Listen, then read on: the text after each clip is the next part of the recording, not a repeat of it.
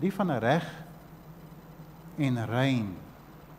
Reg en rein. Reg is om in die regte verhouding met God te kan staan. Hy maak ons regverdig. Dis vir my al ding, dis dis die enigste ding wat reg is vir my. Vanuit die wyse waarop 'n rein verhouding met God staan, regverdig voor die aansig van God, vanuit daardie verhouding van reg kom alles reg in my lewe ook en raak betrokke by goed wat reg is. Nie reg klink nie. Nie mooi pas by 'n reël nie. En jy sal onthou dat die boodskap gebring daar wat hy gesê het, dit gaan nie altyd om dinge uh, reg te doen nie. O, oh, ons is ek wil net sê ons Afrikaners en ons is nie so reg doen by die reëls hou. Ons moet by die reëls hou. Maar partykeer moet jy die regte ding doen.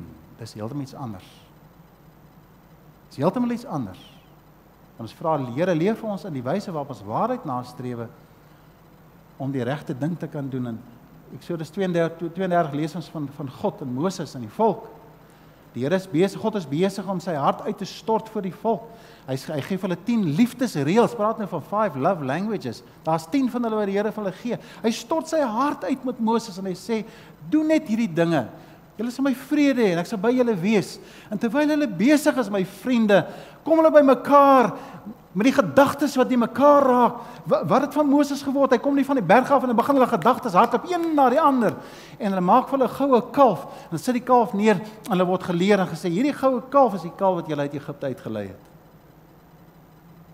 Dit breek God se hart in daardie oomblik. En dan doen God die regte ding. Hy sê vir Moses, Moses is jou volk. Jy moet hulle maar verder lê, ek's nou klaar met hulle. O, oh, daar kom Moses as 'n tipe van Christus.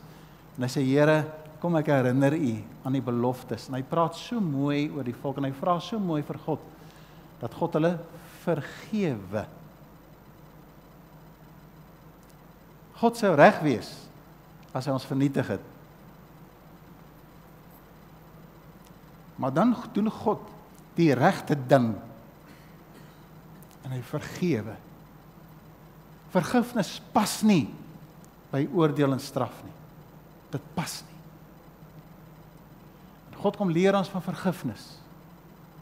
En toe daai vergifnis vergifnis mense se harte aangryp, my vriende, word ons en ek wil graag die woord rein gebruik. Die woord rein is nie net is jy word skoon nie, maar rein sê ek staan in 'n regte verhouding met God die Vader. My gedagtes is rein ek kan vanaand in vrede gaan slaap. Ek het almal vrede gemaak. Ek het nie meer daai boggel wat ek saam met dra nie. Ek het nie daai haat in my nie. Ek het nie daai bitterheid nie. Ek het nie daai lelikheid in my meer nie.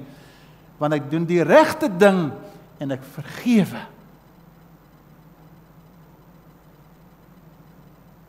Ek wens ons kan glo wat ek nou sê. Want ons vlees wil nie vergewe nie. Dan kan ons nie verstaan hoekom het ons nie vrede nie. En daarom is dit so kosbaar om die Here te eer as ons sê Here kom leer vir ons dat ons die regte ding sal doen en die wyse waarop ons vra kom pas ons harte op dat ons in vrede met alle mense lewe. Dis hoekom hy daar sê wees inskulf of of leef mooi met mense ook daarin van daai tekste wat ons aan julle voorgehou het.